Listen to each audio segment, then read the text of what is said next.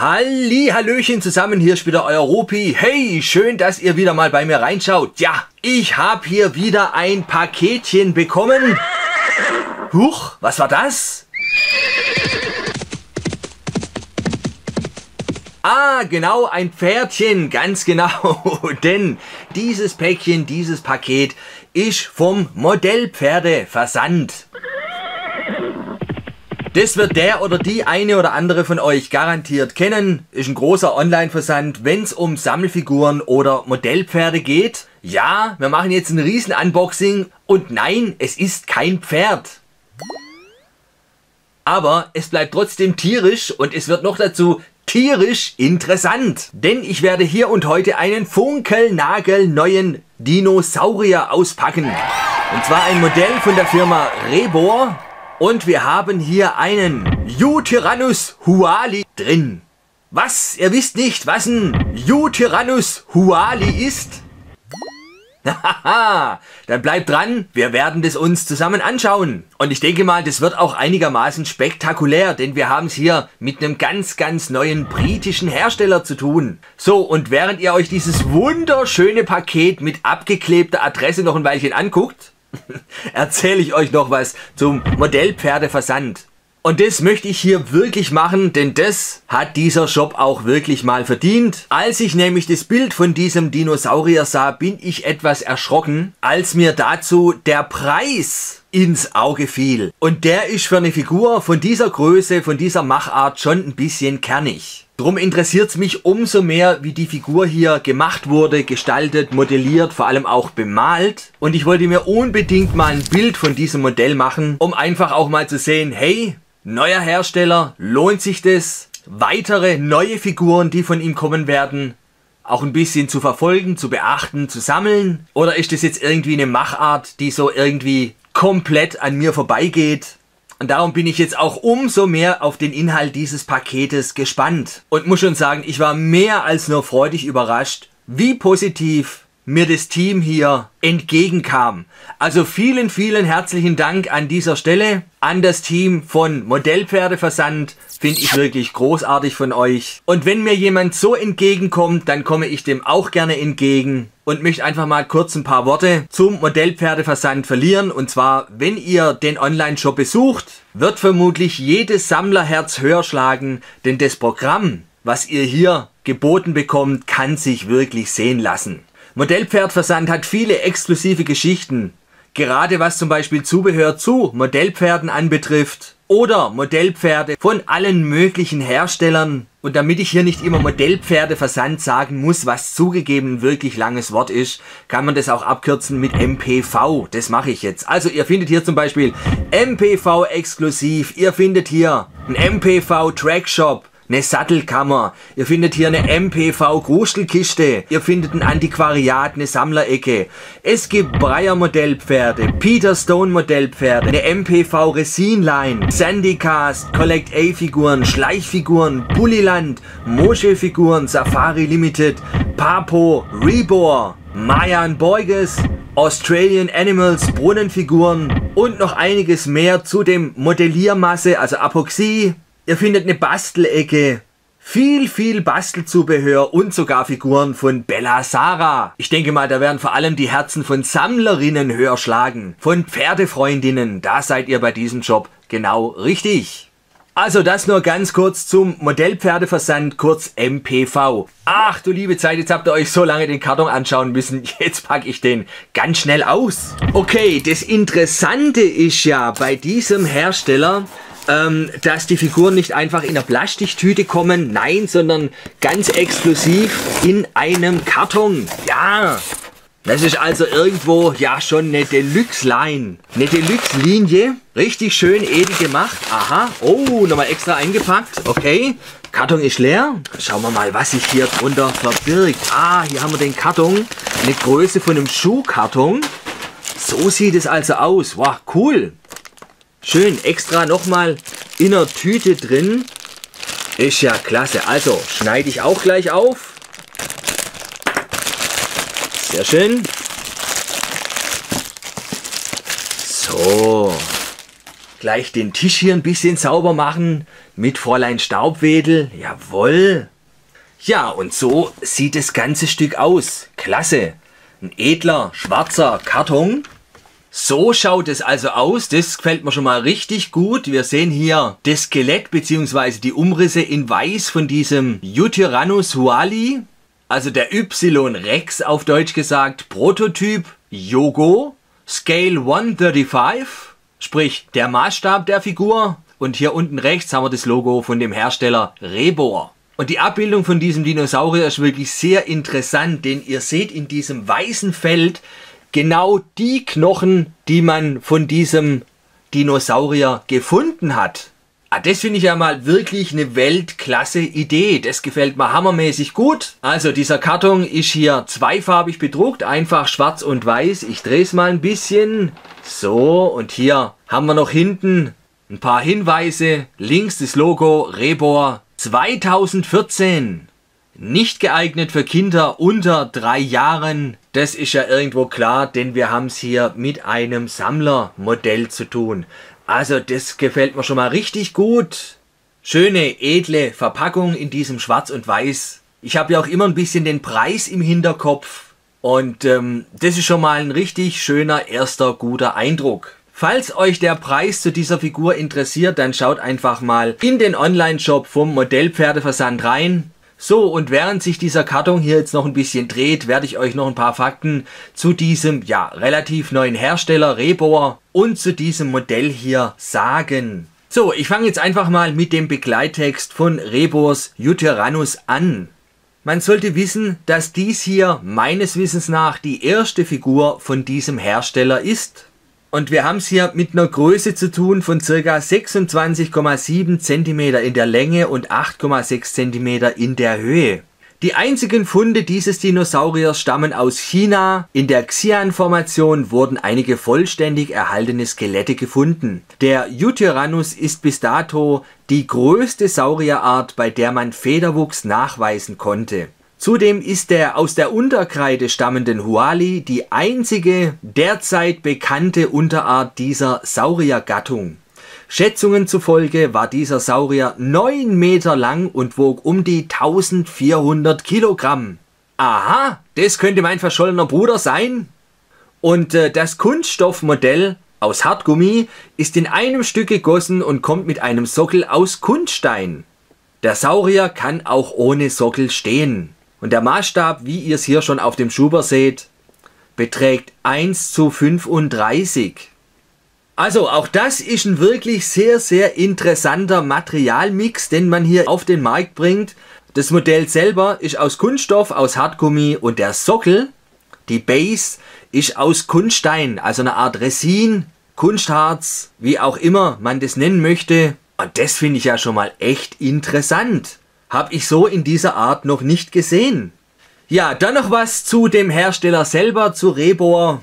Dieser Y-Rex, sage ich jetzt einfach mal, ist mehr oder weniger das Einführungsmodell des Herstellers für alle Dino-Fans. Und sie haben sich in einem Forum mehr oder weniger mit folgenden Worten vorgestellt. Wir sind Rebor oder Rebor, eine britische Marke, die Dinosaurier-Repliken oder Replikas in einer Museumsklasse Museumsqualität entwickelt und produziert und der Name Rebor wurde aus dem Wort Reborn kreiert. Reborn heißt so viel wie wiedergeboren. Und äh, ihre Ambition ist es, mit ihrer Herstellung von realitätsnahen Dinosauriermodellen in die obere Klasse der Dinosaurierhersteller aufzusteigen und somit den Dinosauriern wieder ein bisschen Leben einzuhauchen. Und das allererste Modell, was sie hier auf den Markt bringen, ist tatsächlich der Eutyrannus huali. Ja, dieser Release, diese Veröffentlichung ist natürlich auch irgendwo geschickt gewählt, denn ihr wisst ja, 2015 soll der neue Jurassic-Film in die Kinos kommen. Auf den sind natürlich alle Dinosaurier-Fans gespannt. Und äh, auch ich bin gespannt, ob dieser Film wieder so eine kleine, ja, Dino-Welle auslösen wird so ein Dino-Boom, wie wir es damals in den 90er erlebten. Da kann man wirklich drauf gespannt sein. So, also das zu dem Hersteller Rebor und zu seinem ersten Modell, geschwind ganz kurz allgemein zusammengefasst. jetzt würde ich sagen, packen wir diesen Karton schön in aller Ruhe aus und ich bin echt wie selten gespannt, was mich hier erwarten wird. Also Rupi, komm, geh es an. Okay, wen es interessiert, der Karton hier hat eine Größe von 31 cm in der Länge. Wir haben hier eine Höhe von 18,2, 18,3 cm und eine Tiefe von circa 7,8 cm. So, und der Karton an sich befindet sich hier in diesem schwarz-weißen Schuber. Mal gucken, ob ich den so rauskriege. Jawohl, geht wunderbar. Kann das so abziehen. Jawohl. So, das hier ist der Schuber, wo der Karton hier drin steckt. Dann haben wir hier unseren Karton an sich. So, und den werde ich jetzt mal aufmachen. Könnt ihr hier unten einfach hochziehen und zurückklappen. Oh, was haben wir denn hier drin? Schaumstoff mit der Form des Dinosauriers. Okay, so was haben wir hier noch dabei. Aha, eine Karte mit Infos zu Tyrannosaurus. Das spiegelt jetzt brutal. Ich schneide es mal geschwind hier auf. Dann kann ich die Karte hier rausholen. So. Ich mag das nicht aufreißen, weil ich die Karte da später wieder reinschiebe. So, jetzt lassen Sie das mal angucken. Also hier ein paar Fakten, ein paar Details. Eine schön bedruckte Karte, sieht aus wie so ein altes Papier. Wir finden hier den Schädel. von unserem gefiederten Dinosaurier hier die Karte mit dem Fundort. Dann hier Bilder von dem Fossil. Hier sehen wir ein Schwanzstück. Und an den Pfeilen könnt ihr erkennen, wo man noch die Federn hier sehen kann. Dann haben wir hier noch den fossilen Schädel. Echt klasse. Und hier nochmal das Bild ein Größenvergleich zum Menschen. Und hier nochmal abgebildet die Knochen bzw. die Fundstücke von diesem Dinosaurier. Also, das ist wirklich sehr, sehr schön gemacht. Tolle Dreingabe. So, in Postkartengröße. Cool, na, das fängt doch gut an. Ja, dann haben wir hier noch diesen Kunststoff, diesen Schaumstoff mit den Umrissen von unserem Dinosaurier. So, soll ich das mal rausholen? Interessiert mich jetzt ja schon, ne? Also hier haben wir auch noch ein größeres Teil. Das kann man rausnehmen. Aha, das ist die Base, der Untergrund. Aus Kunststein. Das hole ich auch mal raus. Schaut euch mal an, wie dick das ganze Ding hier ist. Ne? Das alleine ist ja schon ein Dinosaurier. Ist ja der Hammer, die beiden Teile. Schön. Also, und so schaut es aus, wenn das aufgeklappt ist. Hier seht ihr schon das Modell von dem Dinosaurier. Und ich kann euch jetzt schon sagen, das, was ich alleine hier schon durch die Folie sehe, ähm, ja, das sieht schon mal richtig gut aus. Okay, okay, okay. Also das alleine finde ich ja jetzt schon mal eine Weltklasse Verpackung. So ist die Figur wirklich optimal geschützt, sowohl beim Transport als auch bei der späteren Aufbewahrung, wenn ihr die Figuren jetzt nicht unbedingt in eine Vitrine stellt. Gibt ja auch ganz viele Sammler, die kaufen sowas und lassen das dann komplett zusammen, weil sie unter Umständen keinen Platz zum Aufstellen haben. Wie euer Rupi. Ja, ja, ja, ja, ja. So ist es. Also, jetzt schiebe ich hier unseren Kunststoffdinosaurier wieder in diese Form hier rein. Also das finde ich schon mal Weltklasse. Hier noch das Stückchen von der Base. Halt, so rum. Oh, schaut aus wie Daumen nach oben, oder? Also das, was ich bis jetzt gesehen habe, ist wirklich Daumen nach oben. Cool. Also schiebe ich auch hier rein und jetzt nehmen wir das ganze Ding hier im Gesamten raus. So. Jawohl. Schaut euch mal an, wie dick das Teil hier ist. Wahnsinn. Fast so dick wie die ganze Schachtel. Das ist von der Rückseite her gesehen toll. Also, ich bin mehr als positiv überrascht. Und hier haben wir die Base und den Dinosaurier. Fangen wir mal mit der Base, mit dem Untergrund an. Okay, also, das ist tatsächlich aus Resin, aus Kunststein. Das ist wirklich sehr, sehr schön gemacht, klasse modelliert. Sieht aus wie ein richtig schönes Felsenstück. Auch die Bemalung absolut okay, toll gemacht, ne? Die ganzen Risse, die Kleinigkeiten, die kleinen Steinchen dazwischen. Das sieht schon mal richtig gut aus. Auch auf der Seite haben sie schön modelliert. Klasse gemacht. In den typischen Steinfarben. Ich gucke auch immer, ob ich hier irgendwie eine Signatur finde oder einen Stempel. Eine Prägung vom Hersteller oder vom Künstler der Figur, das sehe ich jetzt hier auf den ersten Blick nicht. Fällt euch was auf? Ich habe erst gedacht, das hier wären vielleicht Initialen, aber ist auch nichts. Ja, die Unterseite hat man glatt und einfach nur schwarz gemacht. Was mir hier noch fehlt, sind Kunststoffnoppen, damit ihr die Unterseite bzw. die Oberseite von eurer Vitrine oder dem Glasboden nicht verkratzt. Das hat man hier versäumt drauf zu machen. Das hätte so eine Figur noch definitiv verdient. Aber okay, ist jetzt nicht wirklich ein Abzug in der B-Note, ja, weil mir das Feldstück an sich richtig gut gefällt. Klasse. Und hier können wir dann unseren Dinosaurier irgendwie draufstellen. Aber wirklich, pass auf, denn die Unterseite hier ist ein klein bisschen grob. Das lässt sich fast gar nicht vermeiden.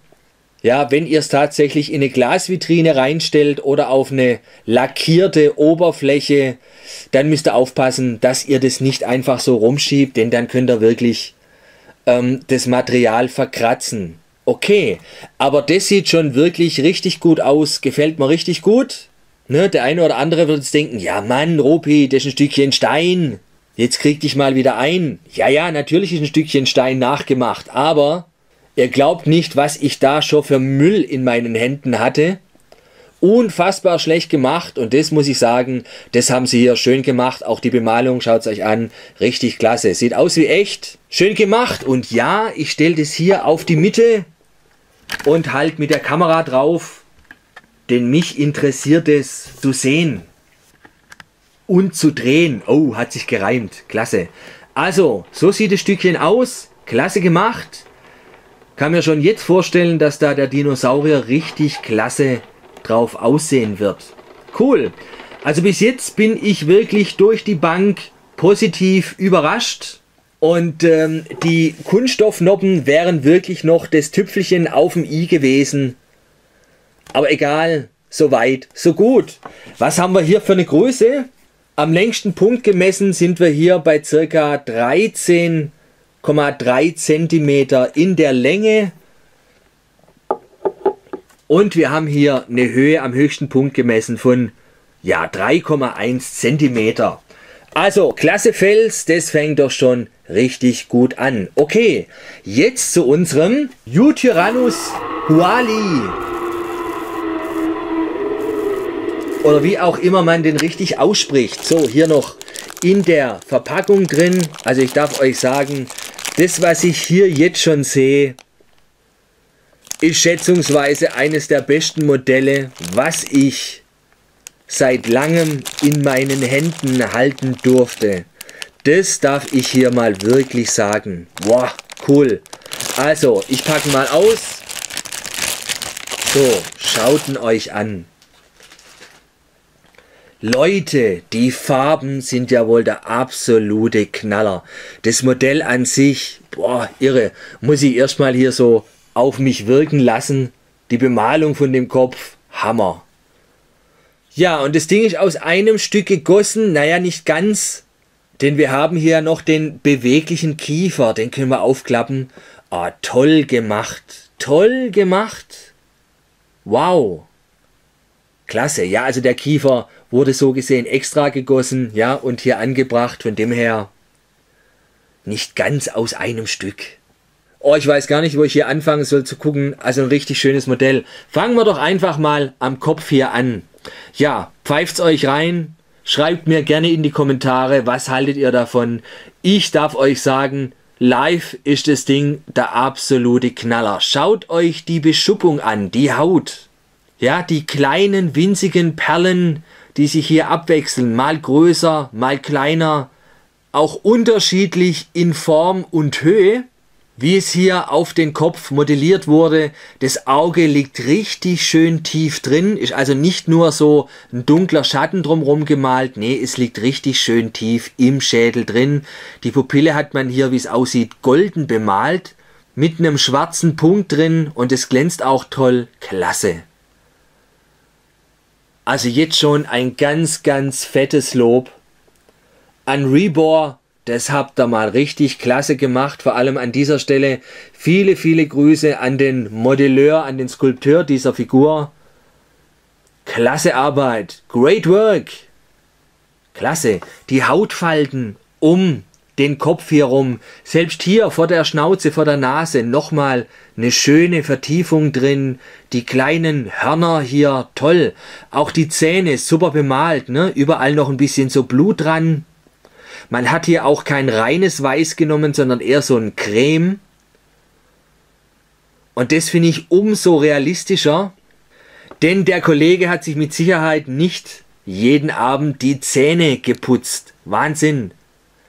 Auch hier seht ihr schon ein kleines Muster, was sich im Verlauf über den Hals ein bisschen deutlicher herauszeichnet. Schön. Dann hier vor allem die Federn, die sich über den Kopfrücken hier ziehen, über den Hals, bis über den Rücken und leicht hier in die Arme und Hinterbeine rein. Klasse, zieht sich durch bis zum Schweif und hier haben wir auch eine kleine, ja, wuschelige Federspitze. Klasse, Hammer. Also ich muss nochmal zurückkommen zu diesem Kopf, also der ist wirklich fantastisch. Die Schuppen sind hier ganz, ganz großartig modelliert fantastische Details, auch in der Bemalung. Und das ist mal eine Figur, die sogar noch besser aussieht als auf den Produktbildern. Leute, das ist selten genug. Wahnsinn, echt Wahnsinn. Auch das Maul, die Unterseite, großartig gemacht. Vor allem, ihr seht hier nicht, dass das Teil hier anmontiert ist. Ganz, ganz toll gemacht und ihr könnt es auch ein Stück weit öffnen. Ihr seht hier das Fleisch zwischen Ober- und Unterkiefer, die Zunge nicht übertrieben rot bemalt, sondern wirklich schön realistisch, die Zähne einzeln modelliert, großartig bemalt. Keine Farbschmierer, gar nichts, ein super Paintjob. Boah, Leute, echt, ich bin wirklich von den Socken großartig. Die Farben, so einfach die auch sind, ja. Wir haben hier Grau, wir haben verschiedene Brauntöne, wir haben Gelbtöne. Dann hier an der Schnauze natürlich, ne, dieses Orange, dieses Gelb und diese ja nicht ganz schwarzen Streifen an den Flanken hier entlang und vor allem auch unruhig gemalt, ne, nicht einfach nur gerade runter, sondern richtig schön bisschen mit den Streifen, mit den Flecken hier gespielt. Schaut euch die Hautfalten hier an, die Bauchfalten. Ganz, ganz großartig. Dann auch die Seitenschlieren an seinen muskulösen Schenkeln hier ganz, ganz großartig gemacht. Der Übergang von diesem hellen Braun in dieses rötliche Braun hier unten auch die Krallen hier wunderbar einzeln herausgearbeitet. Boah, Leute, das ist ein ganz, ganz großartiges Modell. Wenn euch der Preis nicht abschreckt, dann holt euch das. Ich glaube, jeder Dinosaurier-Fan wird absolut begeistert sein, wie ich hier jetzt gerade. Auch die Beschuppung am Bauch hier unten ganz anders wie an der Oberseite. Toll, klasse. Auch mit Schlieren und Falten. Großartig gemacht. Selbst die Unterseite von seinen Füßen, von seinen Beinen hier. Noch modelliert, nicht einfach nur glatt. Schön gemacht. Auch die Seitenklaue hier. Leute, das Ding ist absolut großartig. Was anderes kann man da gar nicht sagen. Auch die Haltung von seinen Klauen hier. Nichts Neues, aber toll gemacht. Ich meine, wie will ich es auch anders darstellen? Ne? Die Falten hier, ich bin begeistert wirklich von den Hautfalten. Die sind hier absolut natürlich gemacht. Ne? Und dann der Übergang von den Schuppen in die Federn hier rein. Ganz, ganz toll. Ganz, ganz toll. Wahnsinnsmodell. Super schön gemacht. So, jetzt gehe ich mal hier nach hinten. Den Schweif. Auch hier die Streifen nicht nur einfach gerade runtergezogen, sondern ein bisschen mit der Form leicht halbrund hier aufgetragen. ich kann es nur nochmal sagen, ein wirklich Weltklasse Paint Job. Super Bemalung, ganz großartig gemacht. Auch der After hier nicht extra einfach nur ein schwarzer Punkt reingesprüht. Nein, man hat auch hier eine Vertiefung reinmodelliert. Man hat hier wirklich an alles gedacht. Ein richtig schönes, realistisches Modell. Wow, wow, wow und nochmal wow. Ja, Rupi ist begeistert. Was für ein toller Dinosaurier, hammermäßig. Großartig. Auch der Rachenraum hier, sauber bemalt. Wirklich sauber. Selbst der Innenraum. Seht ihr die unterschiedlichen Vertiefungen im Rachenraum? Das ist Weltklasse gemacht, wirklich. Vor allem meine Begeisterung gilt diesen Zähnen. Tolle Farbe, die man hier rausgesucht hat. Und dann auch kein übertriebenes Rot, ja, sondern relativ dezent, aber wirklich sehr gekonnt in Szene gesetzt. Klasse. Hier nochmal ein paar Nahaufnahmen von dem Gefieder hier, was sich über den Rücken zieht. Doch klasse, oder? Dann auch hier nochmal der Kopf in Nahaufnahme. Ihr seht die vielen Tiefen, die Höhen, die Grübchen, vor allem auch das Farbenspiel. Ah, oh, Leute, das ist Museumsqualität. So müssen Dinosaurier aussehen. Großartig, wirklich großartig. Super gemacht. Mein lieber Scholli, da können sich ein paar andere Hersteller aber wirklich eine richtig fette Scheibe dran abschneiden. Das muss ich hier wirklich mal sagen. Ja.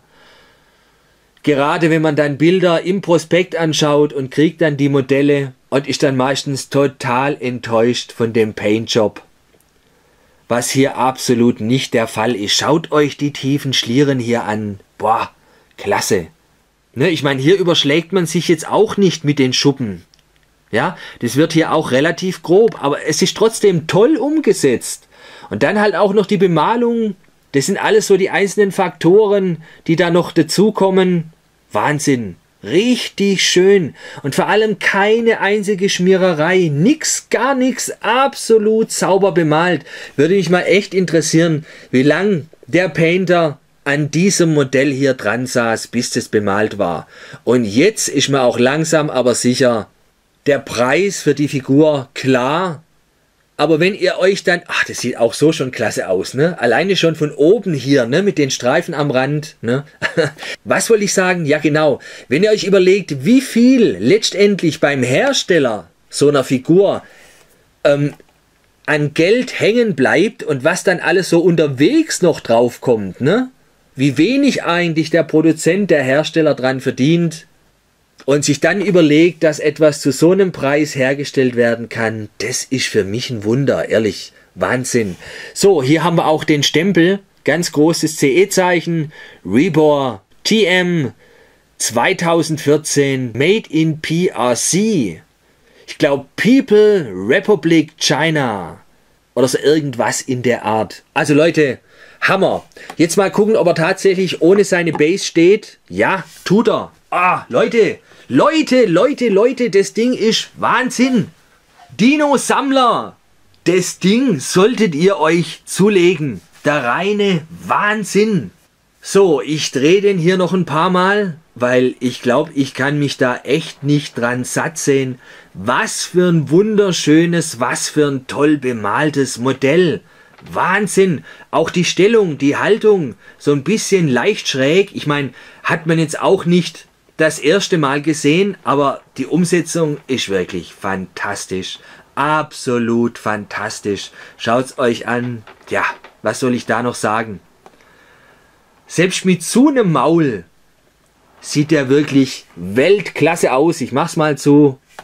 Der Blick hammermäßig hat mich, als ich ihn zum ersten Mal gesehen habe, ein bisschen an den Allosaurus von Papo erinnert.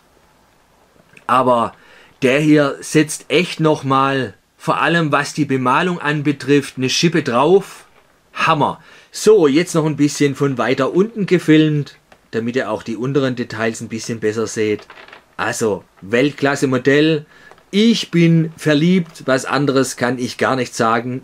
Was für ein wahnsinns schön gemachter Dinosaurier. Tolles Modell von diesem neuen Hersteller. Wow! So, und jetzt setze ich ihn mal auf seine Base, auf den Untergrund. Weiß gar nicht, wie rum er drauf gehört. Stell das einfach mal so hierher. Und guck mal. Ja, so gehört er drauf. Genau, habe ich doch richtig geschaut. Ah, Leute. Oder? Oder? Oder? Muss ich da noch irgendwas sagen? Toll. Großartig. Großartig. So, ich drehe ihn einfach jetzt weiter. Das ist doch absolute Knaller. Auch der Materialmix, absolut gelungen, stört kein bisschen. Ne? Ich habe erst gedacht, ah, wenn ihr ein bisschen zeichnet, wenn ihr ein bisschen malt, ne? ihr wisst, Bleistift und Kohle passt zum Beispiel überhaupt nicht. Bleistift glänzt, Kohle ist matt. Und das sieht immer ganz schlimm aus. Und ähm, ähnlich könnte man meinen, wäre es auch mit diesem Materialmix hier von Resin, von Kunstharz und von PVC, von Plastik.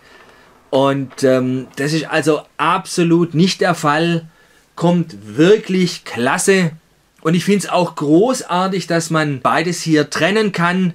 Es gibt viele Leute, die lieben Figuren, die auf einer Base stehen. Es gibt genauso viele Leute, die hassen das, die sagen, oh, ich möchte nicht immer so einen Untergrund sehen. Ich möchte die Figur alleine pur, die möchte ich in meine Vitrinen stellen und sonst nichts. Von dem her ist das hier wirklich ganz, ganz toll gelöst. Ihr könnt selbst entscheiden, wollt ihr euren Dinosaurier auf den Felsen stellen oder wollt ihr den Dino, den Jutyrannus pur sehen, ohne Fels.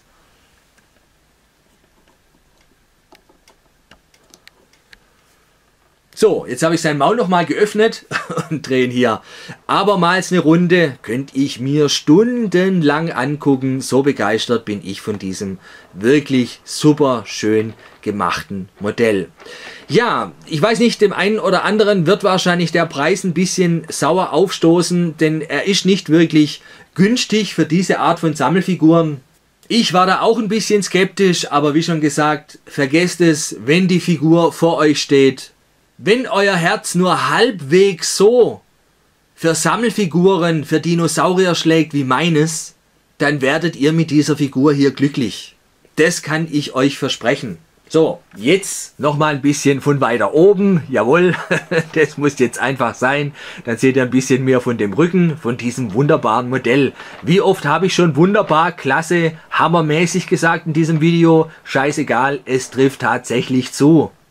Wahnsinn. Leute, was ein großartiges Modell zum zwölftausendsten Mal.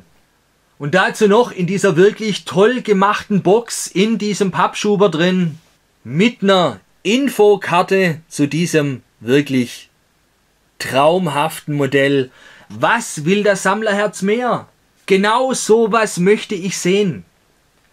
Lieber weniger Figuren produzieren, dafür schönere Figuren produzieren, liebe Hersteller. Viele Grüße an Rebor, auch wenn ihr es nicht versteht. Many greetings to Rebor. Absolutely fantastic. It's amazing. Leute, ihr habt einen super Job gemacht. Und ich freue mich schon jetzt auf alle kommenden Modelle. Wenn ihr diese Qualität beibehaltet, dann seid ihr jetzt schon meine Nummer 1. Aber wie schon gesagt, das hier ist jetzt mal das erste Modell. Man wird sehen, wie sich der Hersteller, der Produzent dieser Serie weiterentwickelt. Das wird wirklich spannend, diesen Weg hier zu beobachten.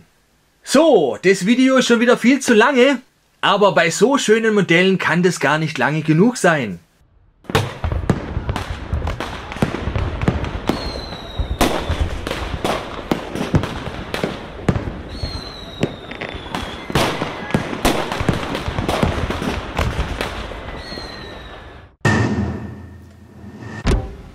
So, und jetzt lasst uns nochmal die Größe vergleichen. Ich habe hier eine Angabe von 26,7 cm in der Länge und 8,6 cm in der Höhe.